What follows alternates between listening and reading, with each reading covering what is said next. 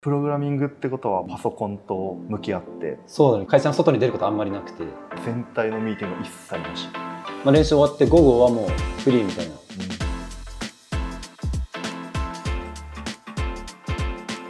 オービックシーガルズ44番成瀬啓太です。名古屋大学出身でポジションはラインバッカーです。2017年に入団して、えー今年で6年目になります、まあオービックを選んだ理由としては、まあ自分がいわゆる地方リーグで大学時代プレーをしていて日本一を狙えるようなトップレベルのチームでこうやってみたいっていうところからオービックに挑戦しました。まあ普段の仕事は、まあ、IT 系の企業に勤めていて企業が使用するようなシステムの開発を主にやっていて、まあ、プログラミングをやったりしてます。インタビュアーを務めますオフェンスライン松原です。よろしくお願いします。えー普段平日は、まあ、7時ぐらいに起きて、まあ、朝食を食べて出社して、まあ、9時から仕事、まあ、お昼ご飯挟んで、まあ、大体8時ぐらいまで仕事してでその後トレーニング行く日はトレーニングに行ってで終わってから夜ご飯食べて、まあ、12時前後に寝てるっていう感じの一日ですね平日は。ずっとプログラミングってことはパソコンと向き合ってそうだね基本的にもう、まあ、仕事的には会社の外に出ることあんまりなくて基本的にもう社内でずっとパソコンをやってるっていう感じかな。なんかアメフトやってる姿と仕事の姿が かけ離れすぎてて 全然イメージができないけど。結構みんなに言われる。お昼ご飯はちなみに外に食べに行く派？そうだねお昼ご飯はまあ会社の近くのまあ定食屋とか行ったりして食べることが多いかな。ちなみにご飯おかわりは？は、まあ、なんかちょっと体重増やそうかなみたいな時期とかはご飯おかわりするけど、あーまあ、今はキープでいいかなぐらいの時期とかはおかわりせず。あー OL はお昼ご飯 おかわりできるとこだけだ。それこそ朝ごはん食べてる？朝ごはんは、まあ、時間がない時はプロテインだけで済ます時もあるけど基本的にはなんか豆乳にバナナとナッツとオートミールと、まあ、あとプロテインとか入れてまあミキサーで混ぜて、まあ、スムージーみたいな感じにして食べてる。基本的にはそれを食べてる。トレーニングはちなみに週何回ぐらいしてる？トレーニングは基本的に週2回。で、まあ、大体火曜日と木曜日に行ってて、まあ、水曜日に、まあ、ミーティングが入ったりするすることがあるから、まあ、あと月曜と金曜日は、まあ、練習の前後で、まあ、あんまりがっつりトレーニングしたくないなっていうことで、まあ、火曜日と木曜日に行くことが多いかな。チームメイトのあちこちからジム行ったらいっつも成瀬がいるっていう 噂は聞いてるけど週に2回。週 2, 2回。です。そんな毎日は行ってないです。てっきり週5日行ってるのかと思った。週2回、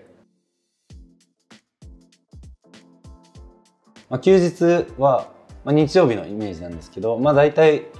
6時ぐらいに起きてで、まあ、朝ごはん食べて、まあ、グラウンド移動してで、まあ、8時半ぐらいからまあミーティングやって、まあ、その後練習全体練習があって、まあ、練習後に少しトレーニングしてでケアを受けてで、まあ、帰宅してでその後その、まあ、日曜日は、えー LB はミーティングがないので、まあ、帰宅して、まあ、その日の練習のビデオを見て、まあ、その後夕ご飯食べて、まあ、少しゴロゴロして、まあ、11時ぐらいには寝てるかなっていう感じですね。見て一番気になるのは、日曜日はディフェンスは全体のミーティングは一切なしないと思う。他のポジションもやってないと思う。それは日曜日の練習の振り返りってうん。どういう形で選手の方に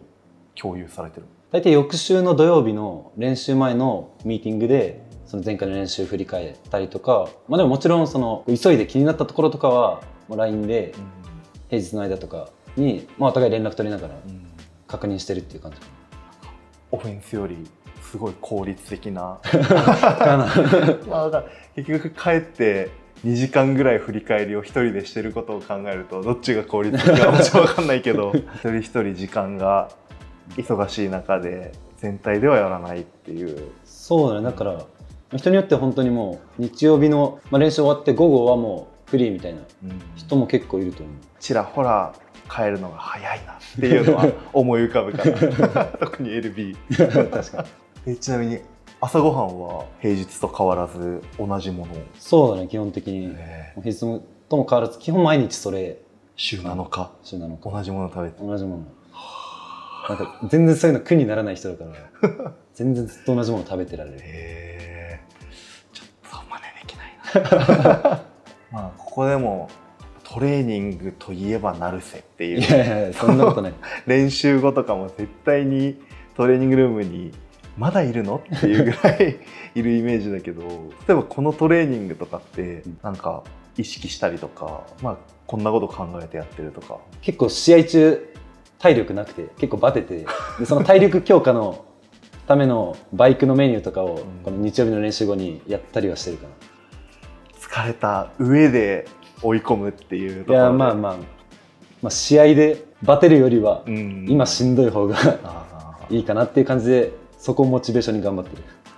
ちなみにどれくらい前から始めた取り組み？そうです。去年のシーズンが終わってからっていう感じかな。去年のシーズン、まあ、結構プレーする機会が増えてそれでこう初めて自分の体力のなさを痛感したというか。で、まあ、今年はもっと最後までバテずにでやりたいなっていうところで、まあ、去年のシーズン終わったタイミングからこうトレーナーの方と相談してそういうメニューを始めたっていう感じかな結構インドアな仕事と超アウトドアなアメフト、まあ、両立するって考えた時に俺は全然イメージができないんだけど なんかここどういうふうに両立させてるか意識してることってある？まあ、社会人週末しか集まれないっていうところで、まあ、なんかどれだけ平日の間に不安要素みたいなところを取り除いて土日迎えられるかみたいなところかな一番は。まあ、分かんないところとかを平日に、まあ、LINE とかで聞いてこの時どうするみたいなのとかをこうできるだけ翌週まで持ち越さずにその平日のうちに解決しておくっていうところは意識してますかね。仕事もアメフトも両立するって結構やっぱり大変だなって思うこともあると思うんだけどその中であえてこのオービックシーガルズっていうチームでプレーし続ける理由これってどんなところにある？そうだな、まあ、一つはやっぱりこう日本一になりたいっていうところが一番大きいのと、まあ、あとは、まあ、単純にやっぱりオービックシーガルズっていうチームに対する憧れがやっぱりこう学生の頃あって社会人チームといえばオービックみたいなイメージがあってそこでやっぱりやりたいっていう思いをこう学生時代に持ってたからずっと目標だったチームみたいなところでこうやれてるっていうのがずっとやれる理由かな。それが大学で始めた時がオービックの3連覇目。で、翌年4連覇っていうところで、まあ、学生で勝ち上がってきたチームが、それでも勝てない。あんなに強かった感覚が、それでも勝てないんだ、みたいなところで、こう、やっぱり強烈なイメージやっぱりあったかな。まあ、一番は、まあ、僕としては、やっぱりトボール続けてもらいたいなっていうところがすごく大きくて、まあ、僕もフットボール大好きですし、きっと、まあ、学生の皆さんもフットボール好きでプレーしていると思うので、やっぱり好きなことをやってるっていうのは一番楽しいことだと思うので、まあ、そこはやっぱり、まあ、社会人になったから諦めてしまうのではなくて、社会人になってもきっと続けられると思うので、まあ、まず続けてほしいなっていうところが一つありますかね。まあ、あとは、まあ、地方リーグ出身の選手も、まあ、それを理由に諦めてしまうのではなくて、まあ、ぜひ挑戦してもらいたいなっていうふうに思います。まあ、オービックシーガルズにももちろんいろんなこうバックグラウンドを持った、まあ、いろんなリーグの選手が集まってきていて、まあ、いろんなところにチャンスはあるので、まあ、ぜひ挑戦してもらいたいなと思います。